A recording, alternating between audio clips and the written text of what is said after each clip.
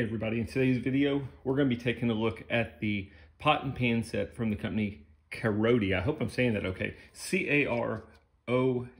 I'm going to do my best to try and show you all of the items it comes with, and then uh, we'll talk about the quality, what I think of it, so on and so forth. They're nice. They're really light, though, so I hope they're going to cook okay. Uh, I've had some of their uh, pots and pans before that were a little bit thicker and sturdier than these. These are just really uh, thin. But the quality seems to be pretty good. You get a lot of pieces. I'm to try and show you all those. So you get a couple different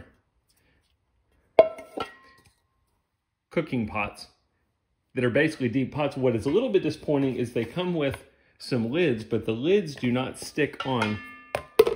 They just basically sit on top. So I was thinking, oh, it'll be great. You can cook something and then you simply throw a lid on and put it in the fridge. But the lid has no way of attaching the pot. So you would think they would have made it where it could be kind of like a um, Tupperware or something where it would stick over. It's basically just sitting on there. So that's a little bit disappointing. Get the small one, you get a larger one. The larger one is the same way. You just have a lid that's just sitting on, no way to press and close it. Show you the bottom of the lid. It's basically just a flat lip.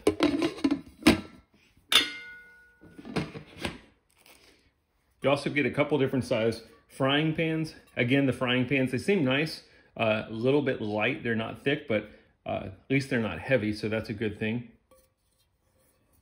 The big draw to these, the reason that we went with this set is because of the handle that it comes with. So you basically have two handles that you get. I didn't open them both up, but come in a box like that.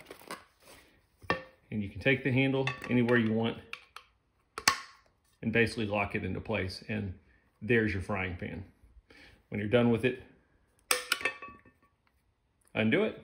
So it does make storing them a lot easier and it makes cleaning them really easy. You take the handle off, clean the pot. The negative that I think is you're always gonna be looking for where your handle is if you don't leave it attached to the pots, but I do like the concept now. It works really well. So that part is uh, is definitely cool. I won't show you all of them. You get some different sizes here. This is going to be the largest one. You get a couple lids, three lids.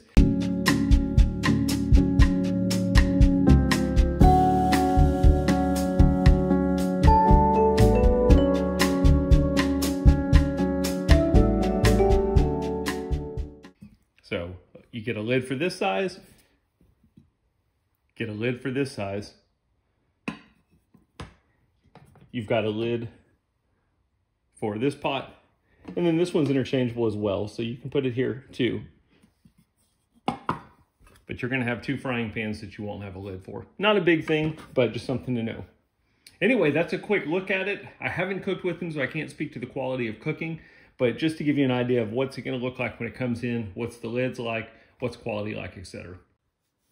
I wanted to also mention that they give you uh, three of these. They basically call them pot protection. All it really is is just a little cloth uh, piece. I don't, uh, I don't really consider these anything great.